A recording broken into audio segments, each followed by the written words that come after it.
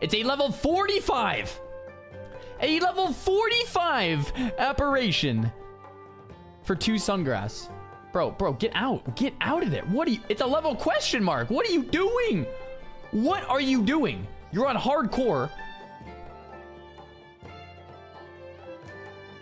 What? Why? Dude. Dude, these are all red mob. What are you do? What are you doing here?